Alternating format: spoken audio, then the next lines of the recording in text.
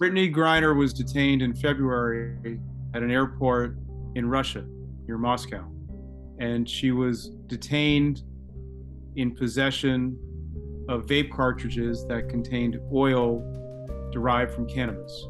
And she has been detained for the last eight months.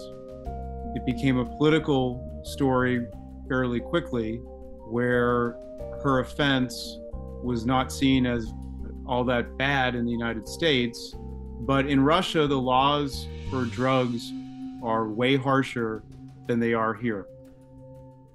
People with more severe crimes have gotten less than what I was given. I said in my first court that yes, I plead guilty. Uh, I did not intend to do this, but I understand the charges brought against me. And I just hope that that is also taken into account.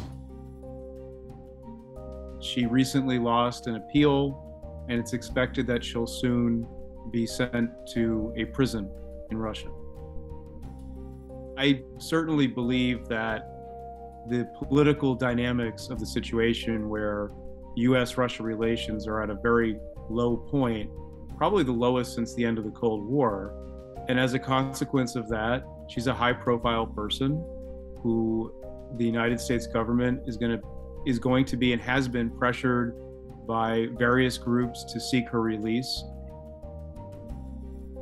Because of that, she likely is a high value asset for Russia. I absolutely believe that she is being held, at least in part, for political reasons as leverage for Russia's purposes. She's an asset who will be uh, exchanged in some sort of trade at some point. There's some conflicting accounts on what's the appropriate punishment, but she faced up to 10 years. She got over nine. And my sense is that this wasn't really the judge's call. I'm going to going to guess that this was probably pushed by the Russian government. That, that although this is a legal process, I think the overlay with politics is probably much more relevant. That this is not an ordinary case. This is a case where the government likely has a lot of suasion on what's going on. So she did receive a, a very harsh sentence. Amnesty International has a number of commentaries on Russian prisons that they're more like work camps. They're called penal colonies. We used to call them gulags. I mean, the, the really heinous conditions that, for women in particular, are unsafe. The fact that she's gay, the fact that she's black.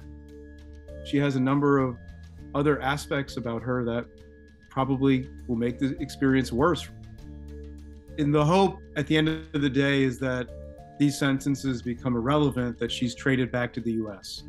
I think that's what we really have to hope for is that her time in a prison, regardless of the sentence, is as short as possible because there's a trade for her. But we don't know when that's going to happen.